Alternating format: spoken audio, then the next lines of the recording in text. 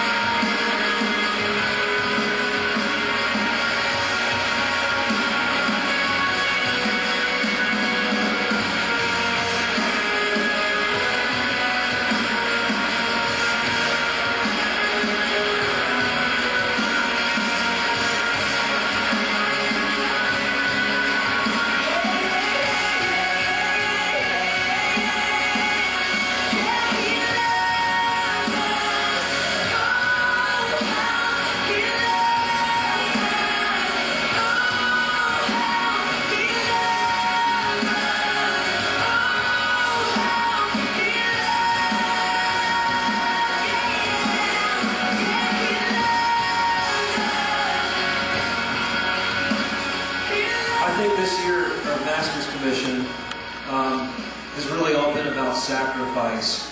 And that's what, that's what, when I see this picture, it's what it represents to me, the sacrifice that Jesus paid for us. And how much more so should we sacrifice? How much more should, God has given us eternal life. How much more so should we give our lives back to Him? The Bible says, take up your cross. Jesus said, take up your cross daily and follow me. If any man wants to be my disciple, he's got to take up his cross. And I think that's what this year of Master's Commission has been about, is just about sacrifice, about giving ourselves up for